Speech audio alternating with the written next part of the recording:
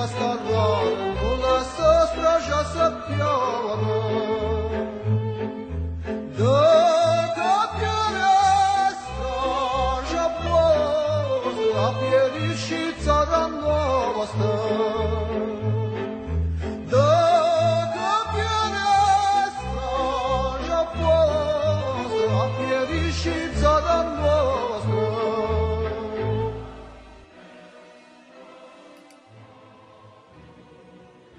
Bună seara din nou, dragi ascultători! Suntem pe Roy K Radio la emisiunea Român Absolut cu Iulian, emisiune sponsorizată de Tangi Dava. Uite că avem și un sponsor. Uh, Le mulțumim frumos că sunt alături de noi. Topicul emisiunii de astăzi, ales de un ascultător, uh, este sărbătoarea, sărbătorirea datei de 23 august.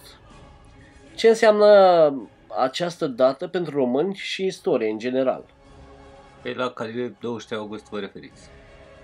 E, la 23 august 1944, că altă sărbătoare În Nu. primul rând, noi o sărbătoare.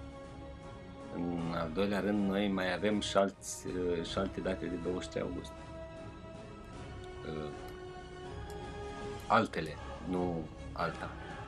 Nu doar una. Uh, Spre exemplu, la Călugăreni, Mihai îl învinge pe Simeon la 1595, 23 august. Cu patru ani înainte de 44, deci în 1939, semnea, este semnat uh, celebru pact Ribbentrop-Molotov, nu? care ne-a dus la pierderea Transilvaniei, a Bucovinei și a Basarabiei un an mai târziu. Plus, uh, ca bonus, uh, quadrilaterul. Nu? Ăla într-un uh, tratat uh, separat. Ah, Abia în 44 putem vorbi de Michelia de la 23 august, care, cum am spus mai devreme, nu e nici pe departe un motiv de sărbătoare pentru noi. Din potrivă. Deci tu vrei să ne spui că noi am sărbător- săr- sărbătorit atâția ani acest 23 august, um, părinții noștri, toată lumea era entuziasmată și încântată de această sărbătoare și tu acum ne spui că nu e niciun motiv de fapt să sărbătorim. Păi, uh, în ce măsură poate fi un motiv de sărbătoare pentru noi ca și români abandonarea 170.000 de soldați care au dispărut în Siberia sau deportarea altor zeci de mii de români. E ăsta un motiv de sărbătoare? Poate că este, dar nu știu. Poate pentru acei neromâni care au uh, săvârșit uh, această mișelie. Da, într-adevăr, lucrurile astea nu prea se spun, sau, mă rog, se spun așa, întreagăt. Uh, greutatea discursului este pe faptul că întoarcerea uh, armelor împotriva germanilor a însemnat uh, scurtarea războiilor și eliberarea României de sub uh, dominația nazistă. Asta e, uh, de fapt, asta e de fapt, zic eu, motivul. Nu. Asta spun uh, beneficiarii acelei lovituri de stat. Adevărul altul și mult mai simplu. O mână de străini au înlăturat un român de la putere. Punct și atât. Păi Da. Bine, bine, dar oricum nu puteam continua cu Germania, fiind la acea dată, fiindcă la acea dată toată lumea știa că ea va, va fi cea care pierde războiul, de fapt. Uh, da. Uh, informația cu, cu data cu Germania că atunci va pierde războiul uh, este adevărată, dar vine o altă gogoriță a manipulării, nu? În primul rând, clar sorții războiului atunci erau de partea Națiunilor Unite. Noi uităm să spunem de fiecare dată, când vorbim de momentul ăsta, că la sfârșitul războiului noi am fost națiune învinsă. Noi suntem atât de naivi să credem că rușii ne-ar fi tratat altfel decât ca pe niște învinși. Adică să nu ne imaginăm că ăștia ar fi făcut mai puține viol- violuri sau mai puține crime uh, sau mai puține furturi. În orice parte a lumii și în orice situație, demnitatea și onoarea sunt apreciate. Mai bine un dușman pe față decât un prieten nesincer. Nu? La fel reacționează și rușii. în fața unui aliat nesigur, stați liniștiți. La fel le-am făcut și noi rușilor uh, în momentul în care ne-au abandonat în 1917. Nu? Aparte asta, noi nu ne gândim că i-am încurcat serios și pe occidentali. Ei erau deja înscriși în, în, în cursa aia cine ajunge primul la Berlin. Credeți că occidentalii ne-au iertat pe faptul că i-am ajutat pe ruși să ajungă ceva mai, mai repede? Da, tu privești lucrurile într-o, dintr-o perspectivă neașteptată, altfel decât am învățat noi, poate la școală sau, eu știu. Băi, nu, în momentul în care gândești în adevăr și în spiritul adevărului, trebuie să te uiți în și din toate direcțiile. Băi, ca o minimă justificare și compensație pentru noi, întoarcerea armilor ar fi fost uh, recuperarea Ardealului. Dar nici aia nu se justifică. Da, părerea multora este că am fost necinstiți și noi ca români procedând, uh, procedând așa, întorcând armele și nu vreau să-ți mărturisesc că asta și era cel puțin părerea mea. E o părere greșită. Adică e o părere strecurată foarte atent de băieții din laborator. Să fim cinstiți, nu românii au cedat Berlinul francezilor sau belgienilor în 40, ci nemții ne-au luat Ardealul și l-au dat ungurilor cadou. Necinstiți au fost nemți, primii și mai devreme. Cam în toată istoria relațiilor dintre noi și germani, indiferent că s-au chemat Sfântul Imperiu Romano-German, Imperiul Habsburgic sau cum s-or fi chemat ei. Tot timpul au fost necinstiți. La fel și cu cealaltă tâmpenie. Trebuia să ne oprim pe Nistru. Asta repetă toți deștepții care habar n-au de istorie.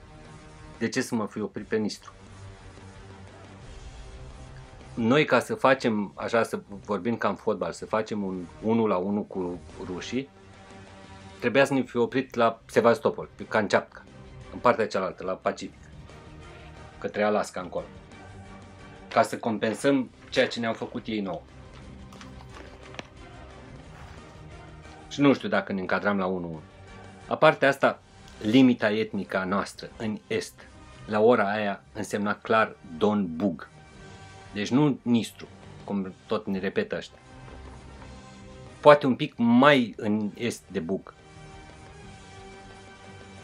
Luați-o așa, vedeți cum se chemau hatmanii ucrainienilor care la 1740 închină steagurile rușilor și, și acceptă să treacă să, să lupte alături de, de ruși.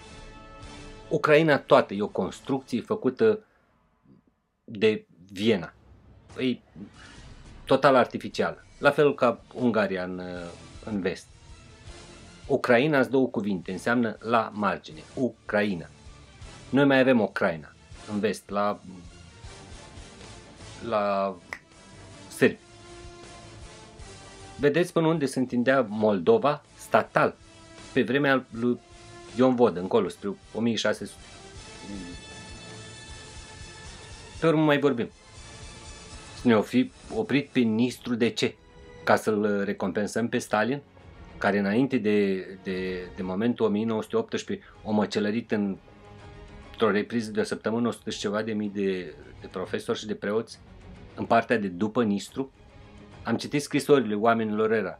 era erau disperați să treacă uh, la, la România. Stalin s-a ocupat, atunci Stalin nu era atât de mare uh, în momentul ăla, s-a ocupat personal și a normalizat situația. La fel cum au normalizat-o în 68 când au intrat în Ceoslovacia. Deci după ce tancurile uh, tratatului de la Varșovia, în fapt tancurile URSS-ului au, au intrat în, în Praga, Hrușciov a spus acum situația e normalizată.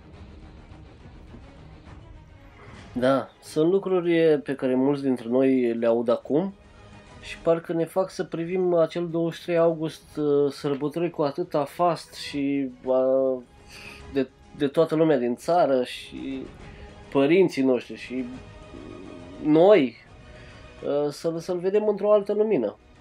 Normal. Ocupantul de până în 89 a avut grijă ca nu, Doamne ferește, să deranjăm. să nu ne deranjăm vecinii cumva, să stricăm buna înțelegerea popoarelor uh, înfrățite așa cu japca sub ideea comunismului. Ocupatul ăsla, ocupantul ăsta de după 89 vrea să nu știm chiar nimic și dacă se poate să dispărem ca popor, e și mai bine ca să poată ei să jefuiască în liniște.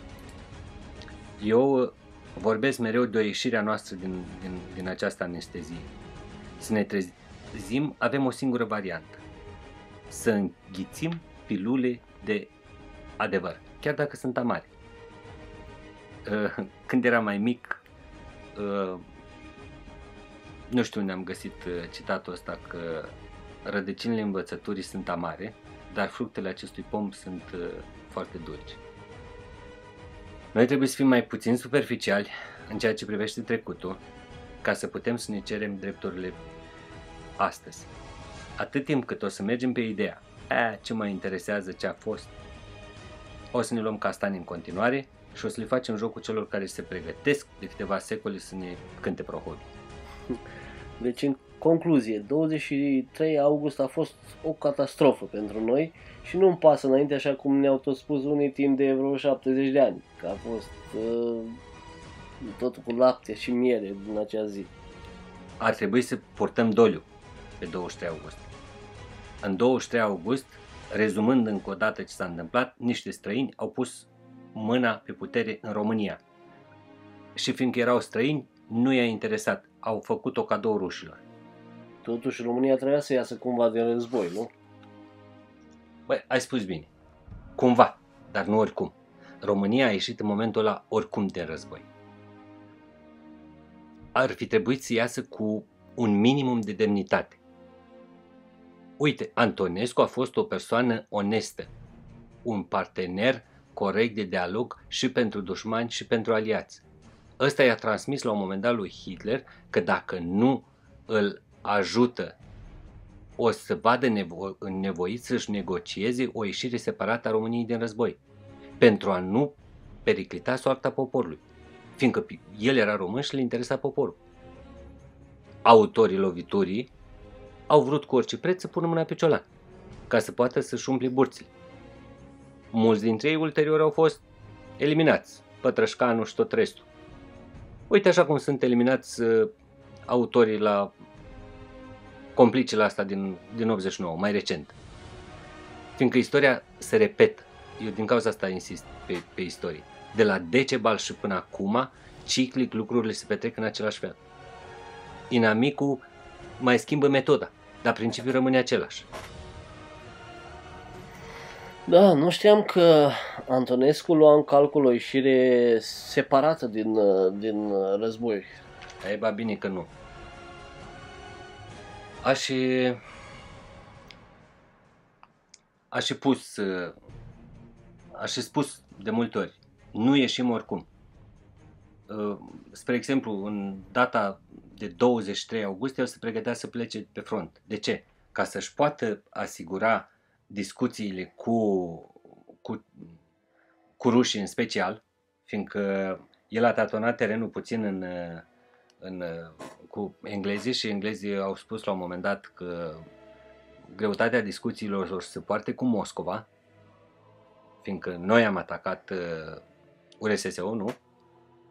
Uh, el a spus așa, nu discut acum, îmi întorc situația în așa fel încât eu să discut cu ei dintr-o, dintr-o poziție mai convenabilă pentru noi să, să, să-mi permită să le impun cât mai multe condiții rușilor și să accept să fac cât mai puține concesii. El a trimis deja o propunere lui Stalin și Stalin acceptase deja ca după război România să rămână întreagă cu Basarabia, cu Bucovina și cu Herța și singura concesie pe care i-ar fi făcut-o Antonescu ar fi fost prezența trupelor rusești pe o perioadă de 10 ani în Basarabia și Bucovina, chipurile să intervină la o, să prevină o, o eventuală întoarcere a României spre, spre, spre nazism. Da, eu nu vreau să te oprești, clar, Dar cred că nu o să-ți mai ajungă timpul să ne, ne vorbești despre o personalitate, personalitate istorică, așa cum uh, i-am obișnuit pe ascultătorii noștri în fiecare săptămână. Da, ne-am lăsat un pic așa duși de val. Putem continua data viitoare sau, nu știu, cum vrei tu, facem partea cu personalitatea istorică joia viitoare? Nu știu, pe mine m-ai, m-ai făcut curios, uh, nu știu despre ce personalitate vrei să vorbești și chiar, chiar sunt curios. Bine, am vrut să vorbesc despre Mihai Viteazu. Și, na, clar nu o să ne încadrăm în, în timpul alocat. Eu spun așa, hai să vorbim despre Ioan Antonescu, fiindcă tot uh, vorbim de 23 august 44. Și să vorbești despre... Vreau să, să te întrerup o secundă. Da. Am primit o întrebare, o întrebare de la un ascultător de-al nostru, uh, Bogdan Kronț. Uh, ne, ne întreabă ce înseamnă român absolut. Probabil că e prima oară când ascultă emisiunea noastră. Nu, și... termenul l-am luat de la, de la Petre Țuțea. El vorbind despre mari români, îi cataloga a Eminescu. A fost uh, un român absolut. Bine, el despre Eminescu mi-a dat cea mai completă definiție a lui Eminescu dată vreodată. Sumă lirică de, de voievozi. Ok. Acum să revenim. Uh, am și o întrebare pentru tine. De ce crezi că este atât de important Ion An- Antonescu? Dintr-un milion de motive. În primul rând, fiindcă este unul dintre puținii români care au luat puterea în România în ultimii 300 de ani, ca să spun așa. Deci noi am avut în ultimii 150-170 de ani patru români la putere. Cuza, Antonescu, Dej și Ceaușescu. Punct. Asta indiferent de ce ar spune unii și alții. Aparte, asta a fost un român extraordinar de capabil, un mare militar a timpului lui. Ca orice român, noi cunoscut de marea majoritate a poporului, așa cum e el. În al treilea rând, fiindcă este unul dintre românii pe care se poate pune eticheta de care vorbeam mai devreme a lui Petre Țuțea, român absolut. În al patrulea rând, fiindcă, nu știu, a dus România pe un drum al onoarei și fiindcă a fost un exemplu de demnitate. În al cincilea rând, fiindcă a iubit poporul în care s-a născut, fără rezerve. El a spus la un moment dat, refuz dinainte orice grațiere, pentru a fi sigur că am să mor pe pământul patriei mele. Știa bine că odată grațiat va fi predat uh, rușilor. Să vedeți cum, uh, cum uh, îi numea el pe autorii viitoarei lovituri de stat. N-aș, nu, nu pot să mai continui, adică nu ne-ar mai ajunge timpul nici până în dimineață. Îl găsesc important pe Ion Antonescu fiindcă a fost un, un român absolut și la fel de actual atunci, e la fel de actual și astăzi. Ca și atunci. Spicuiesc așa ceva dintr-un discurs de lui de la 1 decembrie 1940. Să nu uităm, deci ăsta e un, e un, e un lucru care m-a, m-a, m-a marcat și îl, îl țin minte pe din afară. Să nu uităm că istoria nu va uita pe vinovați. Și vinovați suntem cu toți. Unii pentru că am tăcut, alții pentru că am greșit, cu toții pentru că am suportat. Uite la noi astăzi. Suntem un popor de vinovați tăcem mereu, fiindcă ne este frică, sau mă rog, ne este indusă frica, nu avem nici măcar curajul să, să privim adevărul. Greșim. Greșim, nu știu, adoptând năravuri noi, nu obiceiuri noi.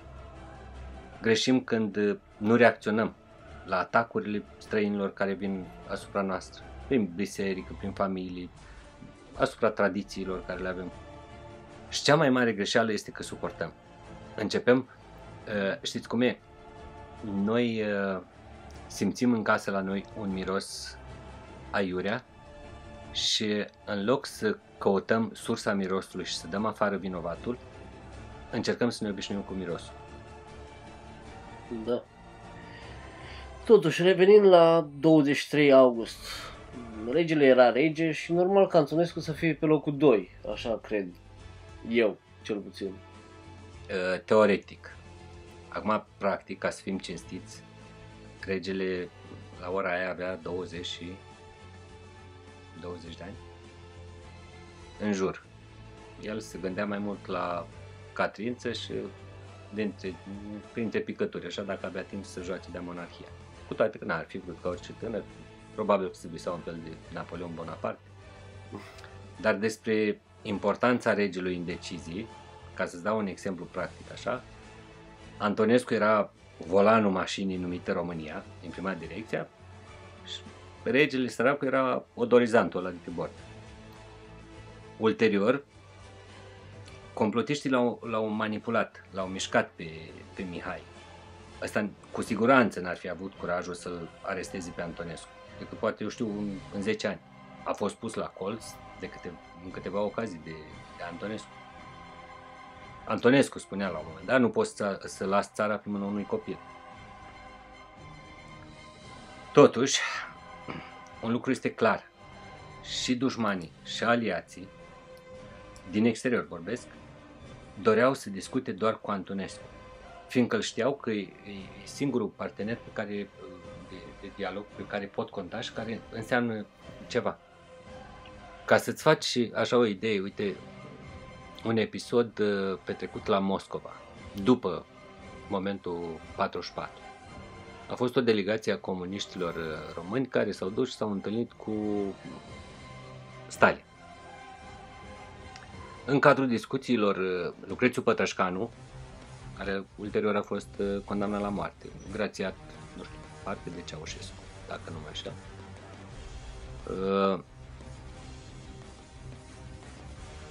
Pătrășcanu încerca să-i, să-i, să-i impute lui, lui, lui Stalin. De ce? Uh, a acceptat condițiile puse de Antonescu. Și lor ca și comuniști care au luptat pentru cauza partidului și care au fost mereu alături de URSS și de fratele sovietic, uh, le-au luat uh, Basarabia și Bucovina. Răspunsul lui Stalin a fost edificator vis-a-vis de, de cele afirmate de mine mai, mai devreme. Le-a spus așa frumos la obraz, fiindcă Antonescu însemna poporul român. Voi nu însemnați nimic. Limpede? Da. Da, sunt lucruri care pe noi românii vii și neanesteziați încă, cum spui, ne mișcă. Adică eu personal am așa un sentiment de mândrie, da, pot să spun mândrie, de fapt nu știu cum să o definesc, poate sunt un pic mai încrezător după ce aflu lucrurile astea care pentru mine sunt noi, sincer. Ți-am spus eu, dar rădăcinile cunoașterii sunt amare. Nu, glumesc. Când lucrezi cu date reale, îți este mult mai ușor să răzbești. Fiindcă eu cred că ăsta e verbul uh, care ne-a asigurat permanența și dăinuirea noastră ca popor. A răzbi. Noi asta am făcut tot timpul. 2000 de ani noi am răzbit. Între atâția dușmani și, și imperii.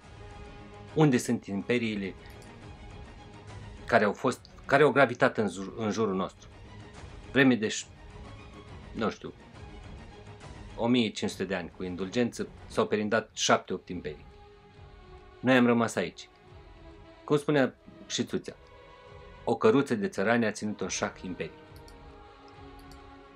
Acum, de multe ori diferența nu e făcută de, neapărat de personalități.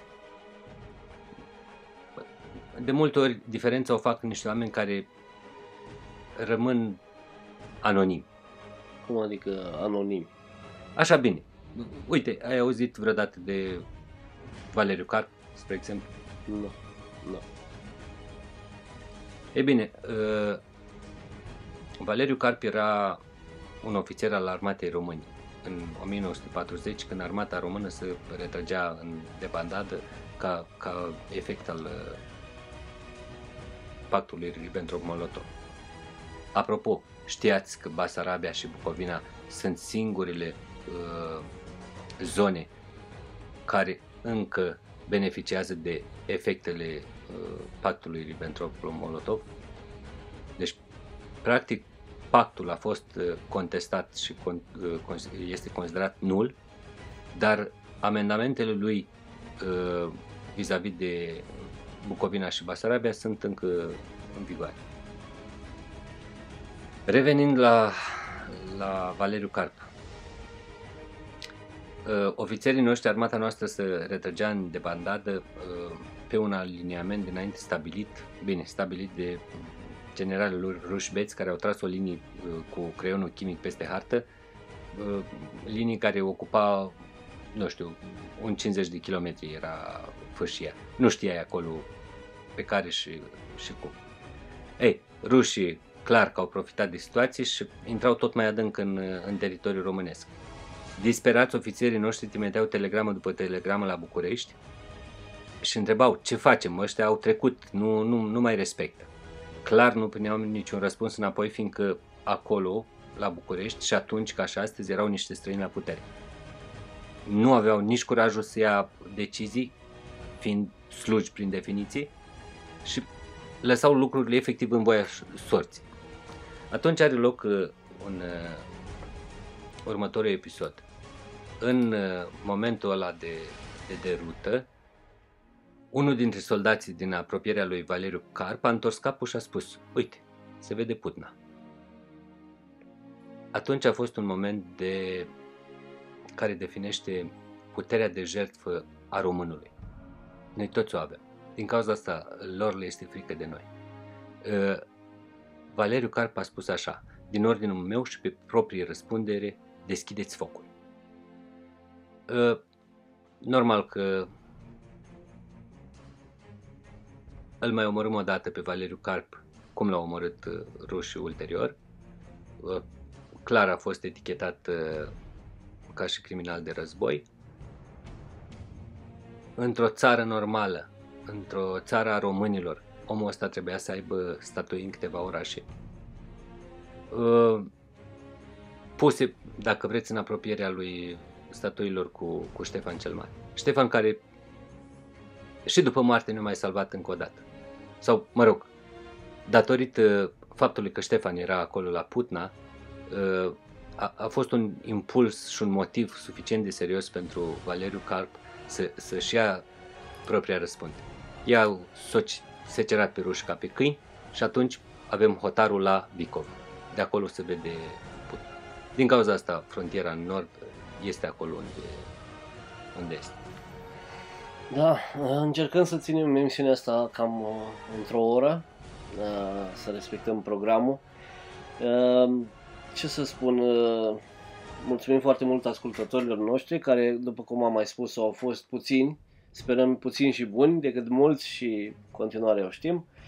Ehm, de la săptămână la săptămână creștem, ehm, asta mă bucură și îmi dă încredere că această emisiune va, va deveni eh, cât de cât cunoscută și putem atrage lângă noi români care, care gândesc eh, pe aceeași linie cu, cu tine, cu mine acum. Asta, asta vrem să facem. Mulțumim uh, foarte mult uh, sponsorului acestei emisiuni, Tangi Dava Ltd, uh, care ne ajută la realizarea, uh, în realizarea acestei emisiuni. Și ne vedem uh, sănătoși săptămâna viitoare, joi de la ora 8, după cum i-am obișnuit pe ascultătorii noștri. Uh, ai idee ce vom vorbi săptămâna viitoare sau așteptăm uh, de no. la ascultătorii un topic? Uh așteptăm de la ascultători un topic. Uh, viitoarele emisiuni pe, pentru partea de istorie clar o să se învârtă în jurul unei date mai importante din săptămână. Încerc să leg data de o personalitate care a participat la un eveniment în dată sau, mă rog, o dată care se ține de o personalitate, anul nașterii sau anul, anul morții. Ok, vă mulțumim frumos și vă mulțumim ascultătorilor. Rămâneți pe Roy K Radio. Urmează Cântă Cucu Battle Villa. thank you